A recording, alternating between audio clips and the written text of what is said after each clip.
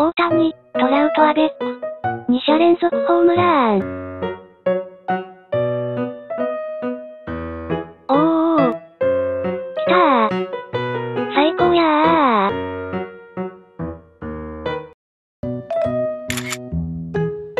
5回、虫の第3打席で内角低めスライダーを完璧に捉える中越弾打球速度は110.8マイル、約178.3キロ、打球飛距離は447フィート、約136.2メートル、打球角度は27度。昨季は、メジャーでは最も遅い開幕から出場8試合目、31打席目の初アーチだったが、今季は3試合目、12打席目に第1号が飛び出した。